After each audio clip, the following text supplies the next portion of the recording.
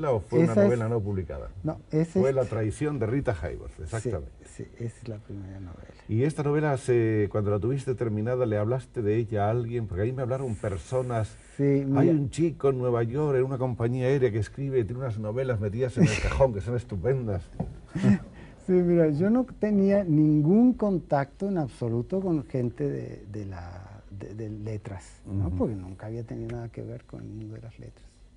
Y, eh, eh, pero me quedaba un amigo muy bueno de, la época del cine, de la escuela, Néstor Almendros, que ahora es un famoso eh, camarógrafo, es el, fotógrafo de la historia de Adele H, este, hace todas las películas de Romer. Y este, se lo considera ahora el, mejor.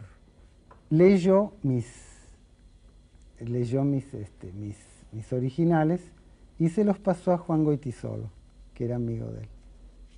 Y Juan los mandó a, al Biblioteca Breve, al del año 65, diciembre del 65, cuando la novela estaba apenas terminada. ¿Y qué pasó en ese premio Biblioteca Breve? Bueno, se colocó bien, la novela fue finalista y de allí salieron contratos. Después vinieron montones de, dificultades con la, con la censura, aquí y en, Buenos Aires. Pero dos, tres años después finalmente se publicó. Aquello es de miedo, porque, ¿cómo te podría decir? Es la ausencia total de paisaje. Es una planicie perfecta el horizonte se hizo una recta, ¿no? Y, no crece nada más que ese pasto. Si, quieres una planta, algo hay que regarla constantemente. Y el mar está a mil kilómetros y las montañas están a mil kilómetros y, todo, todo está lejos. Y la, persona que nace y se muere ahí no ha visto nada, nada más que lo que, lo que le dan en el cine. Entonces me aconsejaron eh, por lo menos escribir en, mi idioma. Y eh, en lo posible sobre algo que yo conociese, sobre alguna experiencia mía, ¿no? sobre los páramos de Yorkshire, mm. cosas, lugares donde no había estado jamás. Lo único en ese momento que recordé con claridad fue la voz del personaje, lo que decía. Eso sí lo tenía muy, muy claro.